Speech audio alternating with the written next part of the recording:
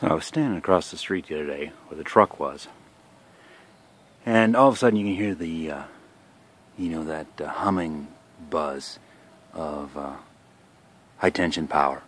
You know, a, a power line shorting out. It's it's that very very classic sort of sound. You know what I'm talking about. Anyways, I look up, and this line here, all the way along its entire length, is just rolling smoke and flames. And then all of a sudden, um, I guess it's that fusible link anyways, the fusible links broke, and then the line dropped down onto uh, the metal guy stays. But it had burned off the transformer there, and it was it was just just fascinating, just rolling smoke and flames. I have no idea what all of a sudden made it do that, because this building is under construction, right?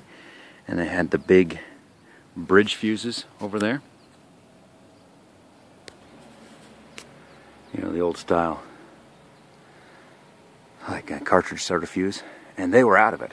So, no idea what went on because it wasn't like it was drawing any power on this side.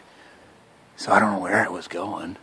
There's no signs of any shorting in here of any kind. So, no idea what, what made it do what it did or, or why or where it was headed. Uh, didn't seem to be shorting out into the trees. The trees look fine it's just a fascinating thing. I would have loved to get a, a video of it, but it happened so quickly, and I had a tour that was about to leave, so I had to go. No harm though.